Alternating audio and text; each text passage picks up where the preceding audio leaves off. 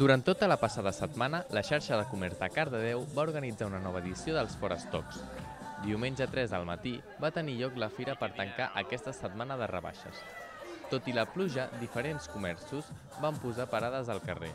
Hi havia programades durant el matí diverses activitats, que a causa del mal temps només es va poder dur a terme la masterclass de Zumba.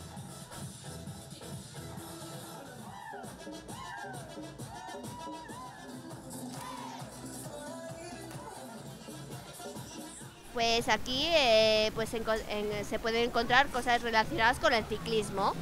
Eh, pues mayos, cascos, guantes, todo de, bueno, de oferta, por así decirlo, de temporadas anteriores. Que vengáis, que venga mucha gente.